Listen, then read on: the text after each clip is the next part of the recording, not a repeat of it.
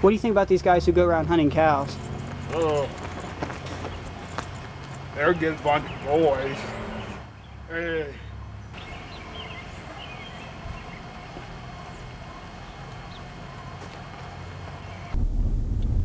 You know, uh, after all,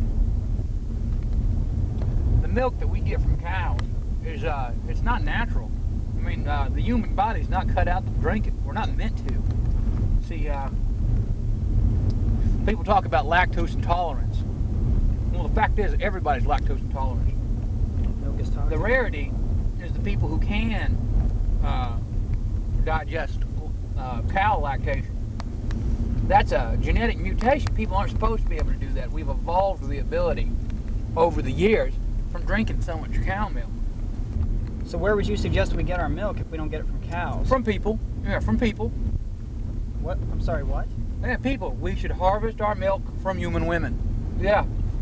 It seems Uh, a tad on the extreme. Well, you see, uh, all mammals will continue to produce milk so long as there's something drawing from the source. So, uh, you know, once the mother, once the mother's uh, done breastfeeding her child, she can uh, keep pumping it out for the rest of the world. So smart, man. I mean, yeah. Oh yeah, how I knew them as children was I used to coach the local baseball team. And they never got much playing time. They were always goofing around, not doing what I'd tell them.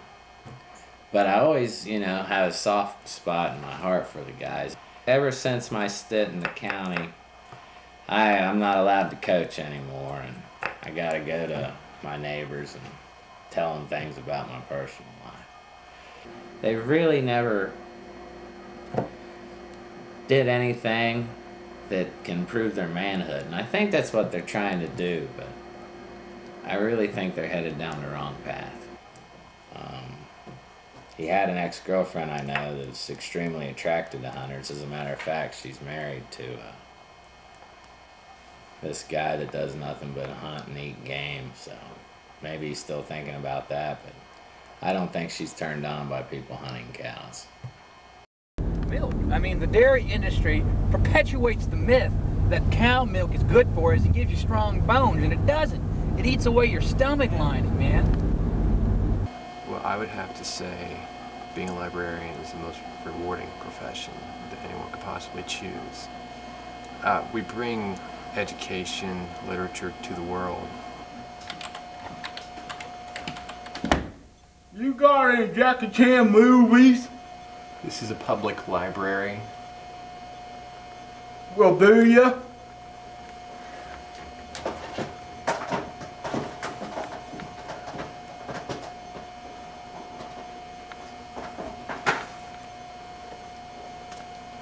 My teacher says you're gay.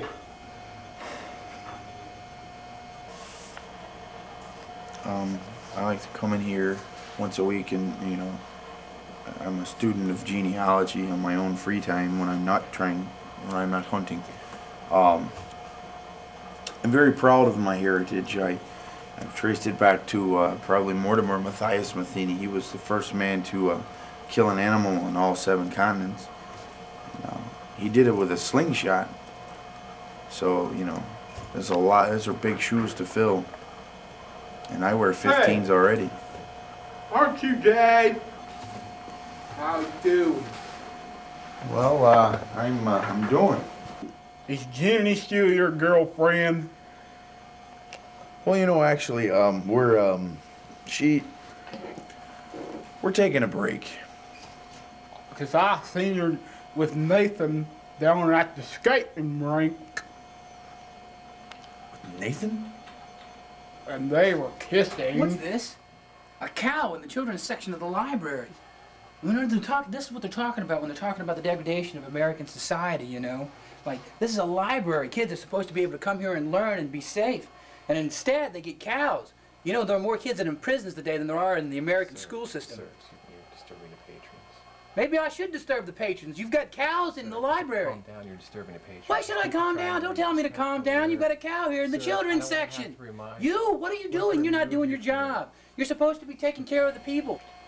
Get your finger out of my face.